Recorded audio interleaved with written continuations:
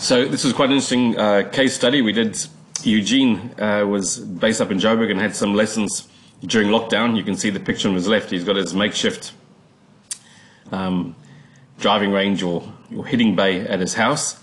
And then uh, a while ago, he, then he had the opportunity to come down and visit us in Durban. It was also raining that day, like it has been this week.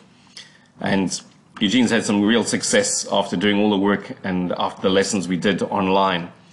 So you can see if I just kind of freeze frame this, what we did with Eugene was really working. He's a very good player. We worked on making sure his hands and body were far more in sync through impact. And the major difference that he's found is that because he's got the relationship between his hands and his rotation better, the picture on the right, as he's gone through impact, you can see there's some rotation in his hips.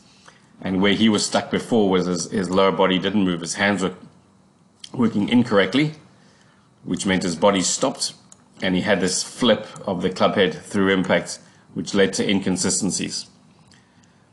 It's just quite nice to see, you know, it, we forget that lockdown wasn't that long ago, and it's great to see the results that he's had.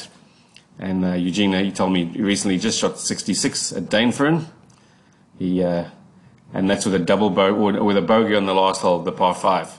So great to see the improvement, and I hope you keep having many more low shots and low swings there, Eugene. Well done.